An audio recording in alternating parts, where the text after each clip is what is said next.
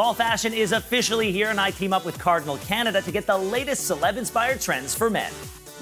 Greg, fall is here, and it is the favorite season for so many people for one major reason overcoats. As we move into fall, we need to start layering up because we all know that the Canadian winter is mm-hmm. just around the corner. Why don't we check out a few top coat styles to make your outfit look banging?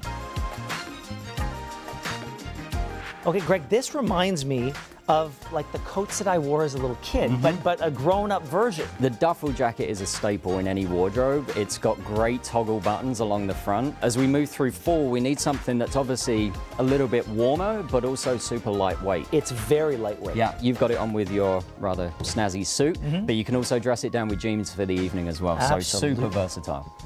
I love it. Stars like Eddie Redmayne and David Beckham have been seen donning the duffel jacket, but now onto a slightly more streamlined look.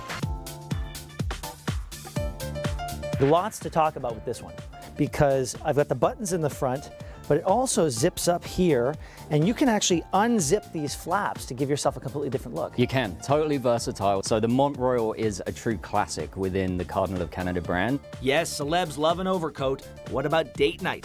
Time for a showstopper so I can keep up with Jess.